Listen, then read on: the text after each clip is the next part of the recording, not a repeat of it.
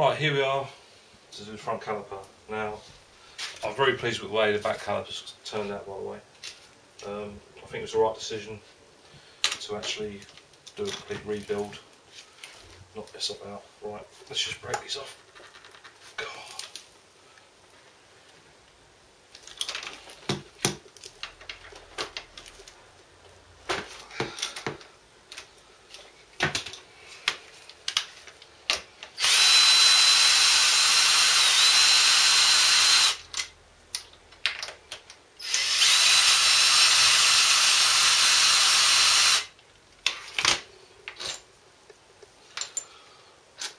Bottom one, short bolt was the top one.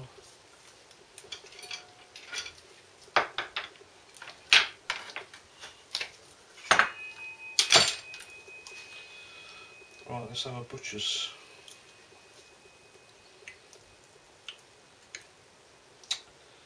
Right, yeah, these pads need to be replaced. They're not that bad, but right. One pin at the back holds the whole lot in.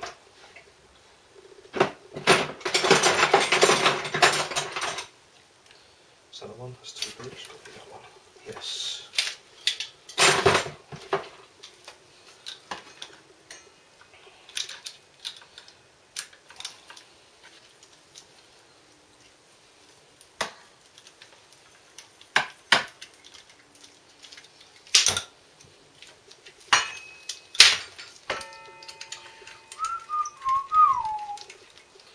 Unscrew the pin.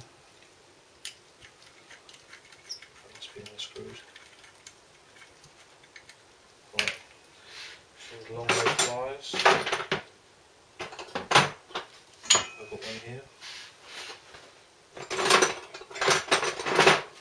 That's just me out of this. Just one in the floor.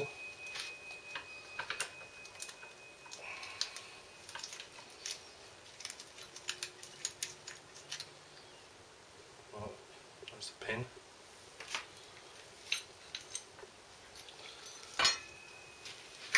And there be the brake pads. Um, yeah, definitely due for replacement. Down to about, what, about a mil. the worst corner, a millimetre. Um, anti-wrestle clip. Ah, well, how did this come off? Oh, I see, it's got an arrow on it, so that must be at the front. Let's pump these out a bit.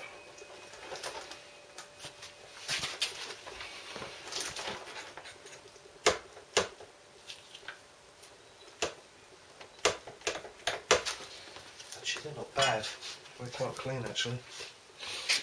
Which quite surprised about. Uh, a little brush.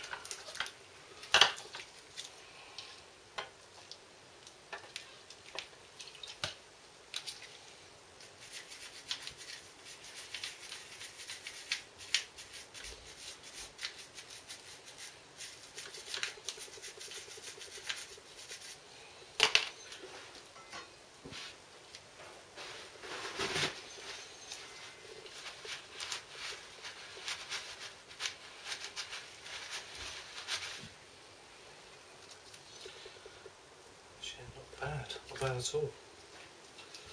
I think I'll do these just with brake cleaner.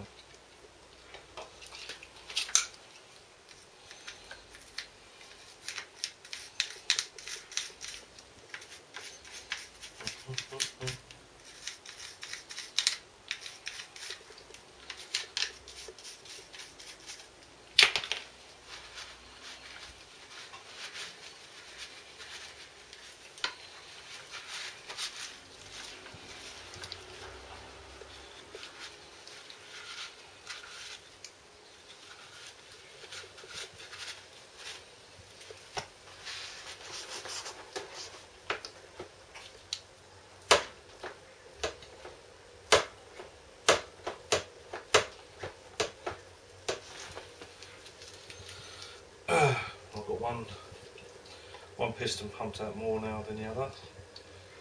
Just drop a load of brake clean on it. Give it a bit of a scrub.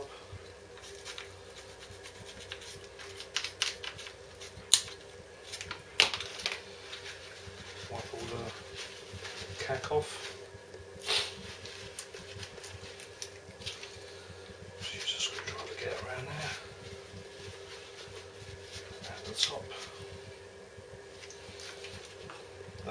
Nice and clean, they, them are. They are, I should say. What we're going to do is push that piston back in.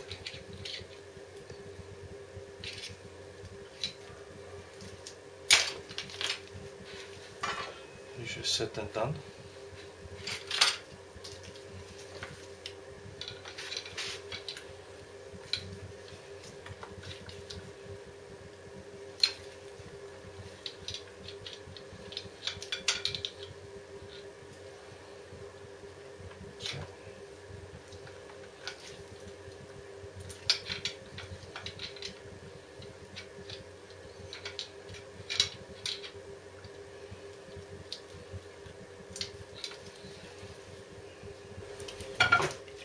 do, I'm going it is.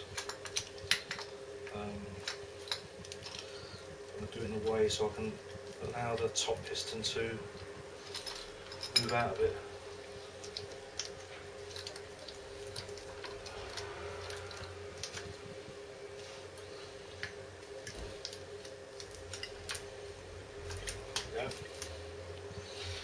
Right, so when I pump now, the other piston should come out.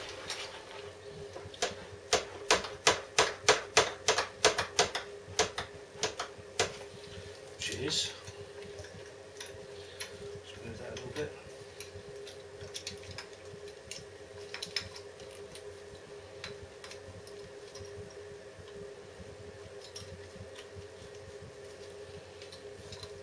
Pump that a little bit more. Right, that's as far as I'll go with that.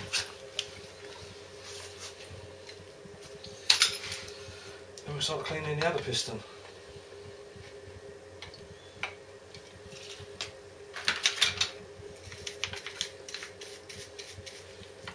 Which is also actually quite clean. I did have a look at these uh, brakes a few weeks ago when I when I discovered the nightmare of the back one, how corroded it was. And I give them a, I gave them a quick clean then, but not not as extensive as what I'm doing now. So maybe that might have helped. But that is actually quite clean, which I'm really, really pleased about. This can, by the way, has lost all its gas. That's why it's not fuzzing out like it should.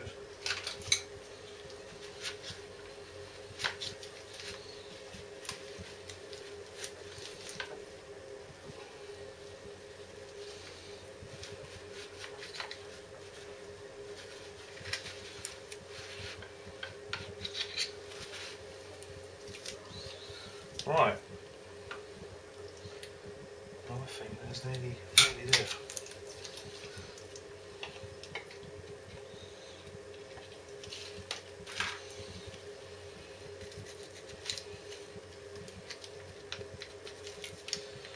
Is where an old toothbrush comes in really handy.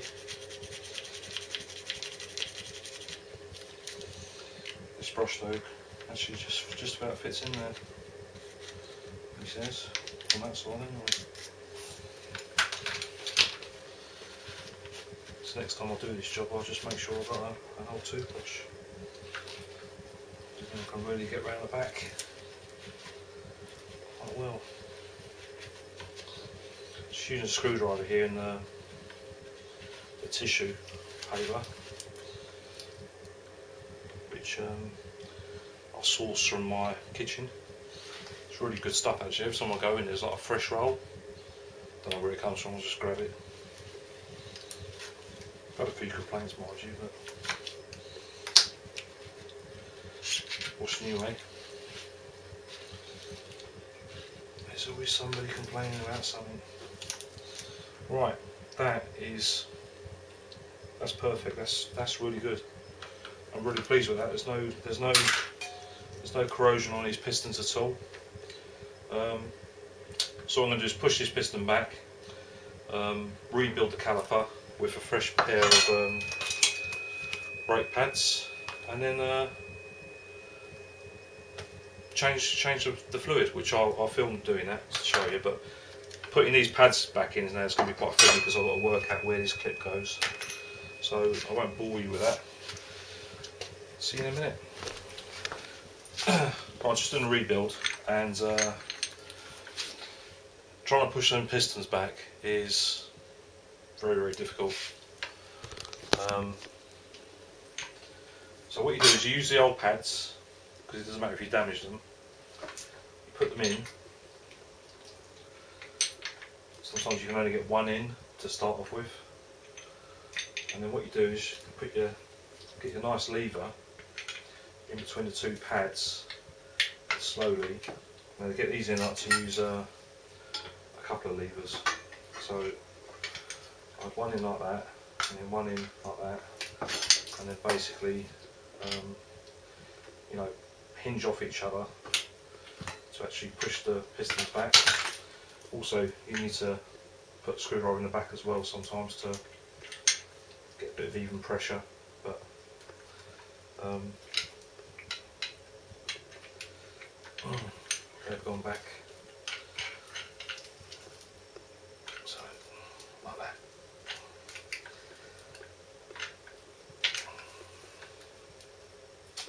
Quite difficult to do, but it's got to be done. Alright, so there the old pads. Rebuild this cabinet now, put in, I've got to work out which way around this uh, clip goes, put the new pads in, and then um, I'll come back when I'm doing the bleed. Okay.